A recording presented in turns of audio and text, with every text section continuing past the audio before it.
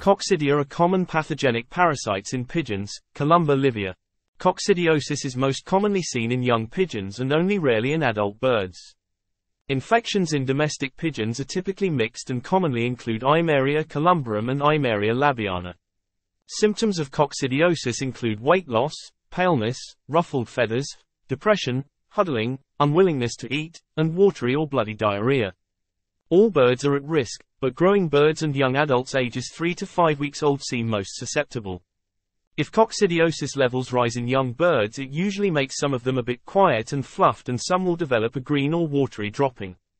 If some of your young birds show these symptoms don't assume it is coccidiosis. Get a vet with avian experience to check some dropping under the microscope. Natural treatment of coccidiosis. Probiotics help with digestive tract health and boost good bacteria levels to help combat the bad bacteria. Various herbs and other natural substances have been studied and thought to help battle coccidiosis.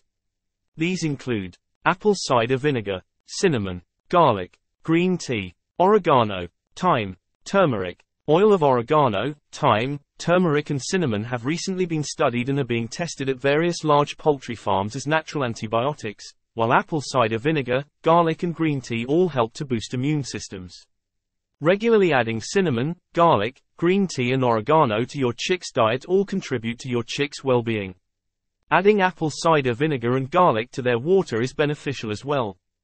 Here are some easy ways to incorporate some natural immune system boosters into your chicks and adult birds' diet, to help ward off the disease, prevent the coccidia, other bad bacteria and pathogens from multiplying, thus getting the best performance and condition of your birds.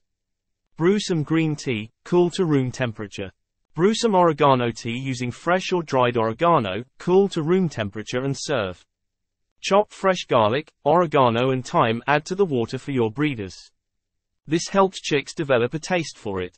Stir some ground cinnamon, garlic powder, turmeric, green tea and dried oregano to their daily feed. Treatment. Toltrazuril is sold under the brand name, Baycox. The reason I like it is that it only has to be given for two days to be effective and it is very safe. Baycox only requires a treatment course of two days. This means that if the condition is diagnosed early in the week the whole course can be given before the next race. The drug works in an amazing way. It substitutes for vitamin B. This means the parasite thinks that toltrazuril is actually vitamin B and takes it into its system but once inside the drug then kills the coccidia. Another advantage of Baycox is that it can be combined with any other treatment e.g for canker or respiratory infection etc. But not with vitamin supplements that contain vitamin B. Supplementing with vitamin B simultaneously overrides the effect of the drug.